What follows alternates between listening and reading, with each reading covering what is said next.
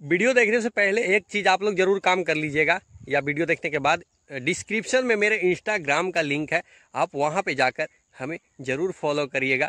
आप में से जो भी भाई लोग बात करना चाहते हैं, उनको कॉन्टेक्ट नंबर देना बहुत मुश्किल है और सारे लोग को दे नहीं सकते तो आप ज़रूर डिस्क्रिप्शन में जाइए इंस्टाग्राम का लिंक है, आप हमें वहाँ पे फॉलो करिए और वहाँ पे आप हमें मैसेज करिए, हम आपसे बात करेंगे। में हम बताने वाले हैं कि कल पूरा मैटर क्या हुआ, जो कि विवाद अभी चल रहा है छोटू चिंगारी और संतोष रेणु को लेकर। मैंने कल बताया भी था कि मैं वहाँ पे जाऊँगा और मैंने गया भी था। मैं सोचा यार कि संतोष रेणु यादव जो है, वो शायद से जो है, वो आए।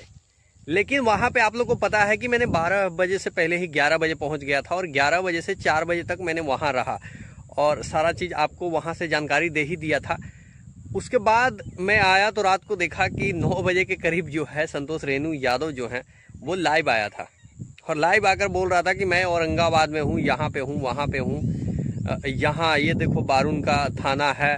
और जस्ट उसके बाद जब वो लाइव मतलब देखे हम, उसके तुरंत बाद मैंने छोटू चिंगारी से बात किया, उन्होंने बोला कि भाई मैं अभी जो हूँ, वो उसने जहाँ पे बुलाया है, मैं वहाँ पे गया हूँ। लेकिन उसका कोई अता पता ही नहीं है। जी हाँ जब छोटू चिंगारी वहाँ पे जाते हैं तो वहाँ पे संतोष रेणु यादव तो छोड़ो, उसका जो कोई भी मतलब एक आदमी तक नहीं था। जी हाँ एक आदमी तक नहीं था वो जहाँ पे बुलाया कि यहाँ आओ, मैं औरंगाबाद में आ गया हूँ, यहाँ हूँ, वहाँ हूँ। जितना डिंगे मार रहा था, वो था ही नहीं। इससे साफ़ मतलब लगता है कि वो जो आदमी था, वो आया ही नहीं था। अब भाई, जब तुम यहाँ पे आए थे और उतनी दूर से जब तुम आए हो, इतना रात में तो तुमको मिलना चाहिए था। तो तुम, तुम्हारे अंदर अगर मिलने का गट्स नहीं था तो तुम आते ही नहीं ना। रात को एक तो तुमने बारह बजे का समय दिया। उसके बाद जो है तुम दारू पीकर दिन भर जो है वो सोए रहो शाम को तुमने फिर उठा, फिर दो चार घुट मारा होगा और जो तुम्हारे साथ लाइव में थे, मैंने देखा भी, आठ दस लड़के थे। वो लोग भी वही भाषा में बात कर रहे थे, ऐसा लग रहा था कि पूरा पी के धूत है।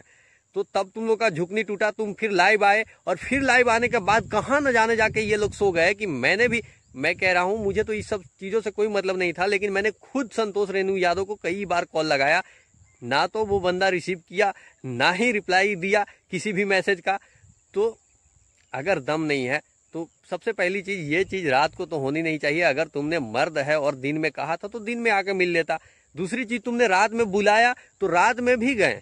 ऐसा बात नहीं है कि नहीं गए, छोटू चिंगारी गए, लेकिन तुम साले फिर भी बिल में जाके छुप गया। तो तुमने तो पूरा मतलब अपना खानदान का नाम जो है वो मिट्टी में मिला ही दिया। बाकी मुझे लगा आप सब तक ये चीज़ बताना चाहिए, क्योंकि बहुत सारे लोग पूछ रहे थे कि क्या हुआ, रात का मैटर क्या है भाई, छोटू चिंगारी कहाँ घूम रहे थे? तो मैंने सारा चीज़ बता दिया। मिलते हैं अगले वीडियो में, तब तक के लिए अपने भाई को दीजिएगा इजाज़त लव यू टेक केयर